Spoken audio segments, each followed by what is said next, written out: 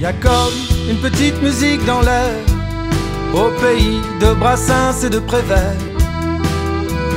Une rengaine qui nous offense, dans ce pays qu'on aimerait encore appeler douce France. Y a comme une petite musique dans l'air, au pays de Beauvoir et l'abbé Pierre. Une rengaine qui nous offense, dans ce pays qu'on aimerait encore appeler douce France. Salut, c'est HK avec Flo. Avec Flo.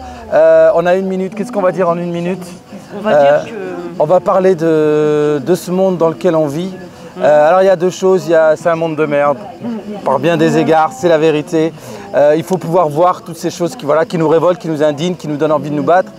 Mais il faut jamais aussi oublier euh, pourquoi on se bat. Voilà, on se bat contre des choses qui nous, qui nous indignent et il y a tellement de choses euh, qui nous indignent dans, dans- dans ce monde, dans cette époque.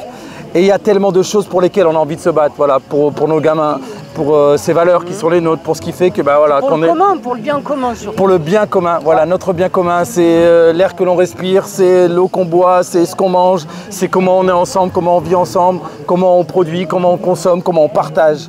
Euh, voilà, c'est des mots, c'est des gros mots dans notre époque, le, le partage. Voilà. Oui. Et dans un monde aussi qui est, qui est bouffé par, par l'ego et par, par euh, les gens qui se croient pour les sauveurs suprêmes. Et, et on se dit, voilà, et parler un peu plus euh, collectif.